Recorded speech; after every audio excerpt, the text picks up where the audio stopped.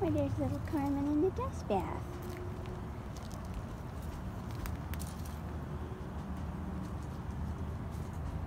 Cinder's over there. You can see her little tail. Hi, Cinder. Hi, buddy. The other babies are wandering around over there. There's Miss Terry. And Carmen, she just wants to have a dust bath. She likes this black earth here.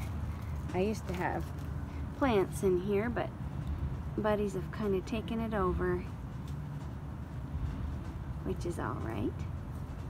They're a lot more fun than plants. Aren't you, Carmen? You're so much more fun than a plant. Yeah, you are. Look at you. Look at you. She likes to wiggle in that dirt. Get all cozy. That little tail.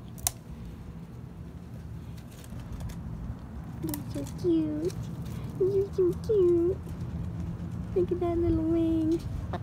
Yeah. You're so cute. Look at those beautiful golden neck feathers. So beautiful. So beautiful.